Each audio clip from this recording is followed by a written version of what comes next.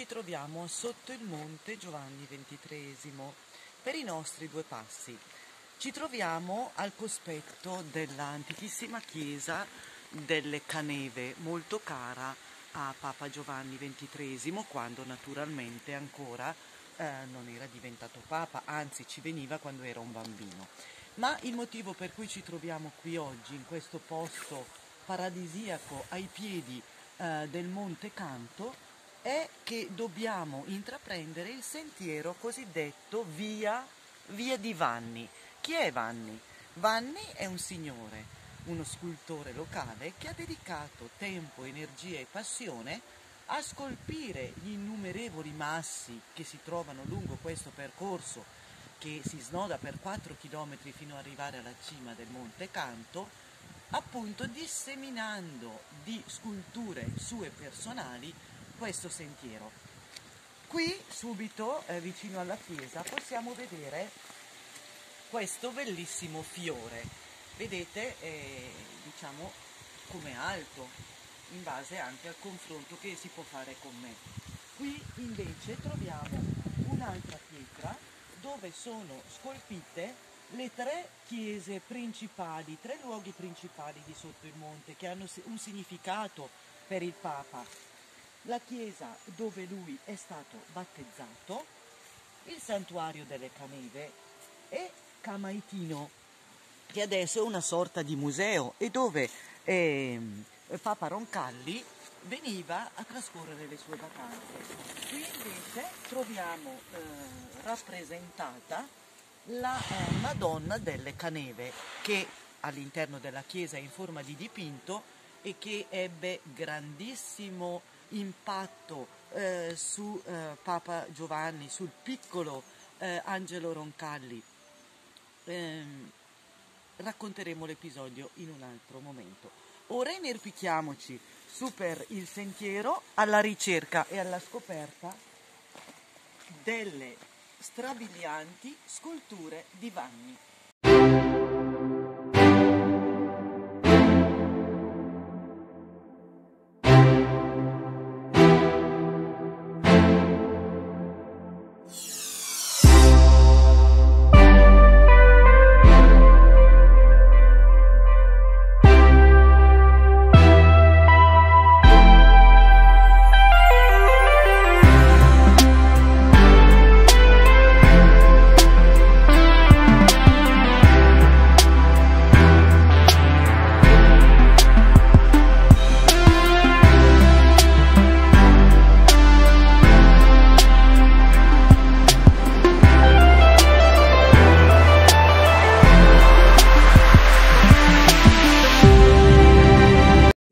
Questa scultura che è veramente suggestiva, trovarla qui in mezzo a questo ambiente boschivo è di grande suggestione. È una scultura anche di notevole eh, bellezza, enigmatica e anche grande.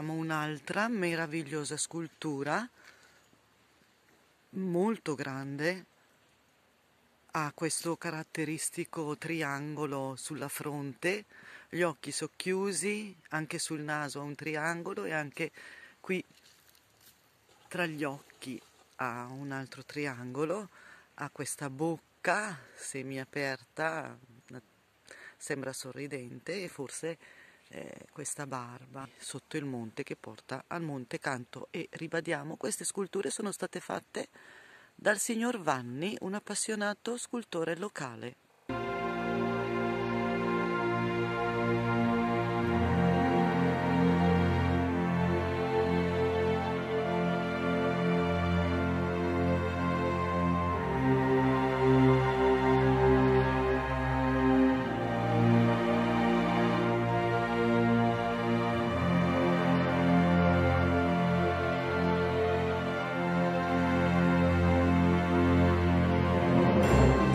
Invece le sculture eh, di un capo indiano, bellissimo, e della sua compagna.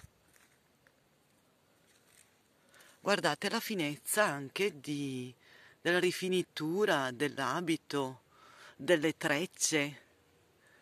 E non è facile scolpire su questa pietra piuttosto robusta, piuttosto dura. Che bella fantasia e che bell'opera.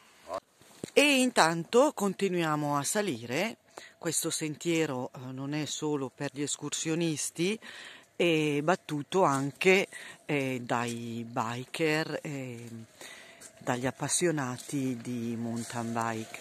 È un sentiero assolutamente eh, segnalato, molto ben segnalato dal CAI e con rammarico abbiamo appreso appunto proprio da uno di questi bikers che ehm, il signor Vanni è morto circa tre anni fa. Questo ci dispiace molto, anche perché avevamo letto che era sempre molto disponibile a spiegare le proprie sculture ai visitatori e a coloro che intraprendevano questo sentiero. Ecco, qui ci troviamo al cospetto di un'altra delle sue sculture. Questo personaggio sorridente, con questo copricapo un po' a punta, è molto caratteristico. Vediamo che la vegetazione di questo periodo, siamo al 14 febbraio 2021, è una vegetazione ideale per questo tipo di escursioni perché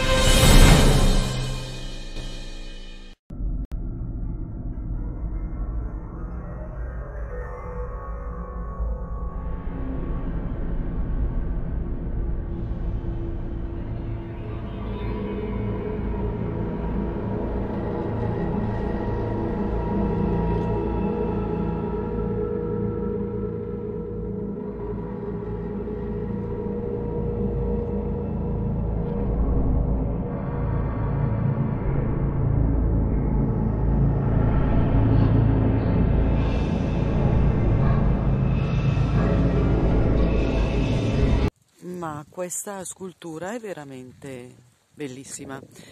E questa frattura che vediamo era già esistente quando il signor Vanni eh, si mise a scolpire il masso e quindi ha tenuto conto anche di quella. Il risultato è strabiliante. Le fattezze del personaggio che ha rappresentato con queste narici molto larghe ricordano ehm, le sculture ehm, messicane, olmeche direi.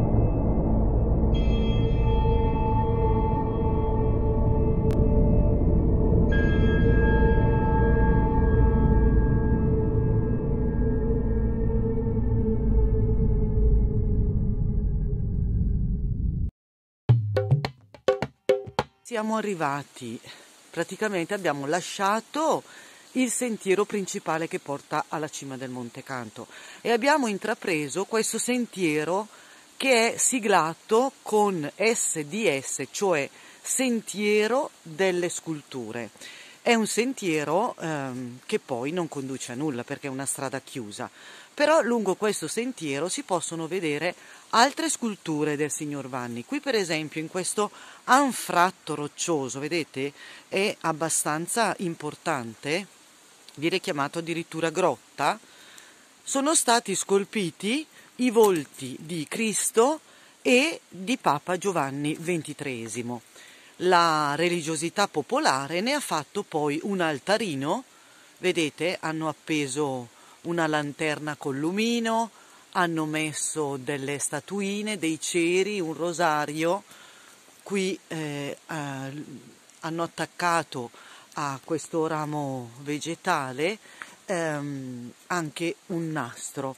E qui eh, c'è anche una invocazione Perciò ci raccogliamo anche noi in, eh, in riflessione accanto a questa manifestazione ehm, di devozione popolare in questo luogo eh, naturale dove la mano dell'uomo ha semplicemente plasmato quello che eh, la natura o il senso eh, di ineffabile, il senso del divino ha insito in certi luoghi. Guardate poi qui anche la meraviglia di trovare anche le stalagmiti, guardate che belle, di ghiaccio, perché qui essendo un punto particolarmente in ombra è stato interessato da questi candelotti ghiacciati che si possono vedere solo in questa stagione naturalmente. E qui hanno anche messo una piastrellina con scritto Camino de Santiago.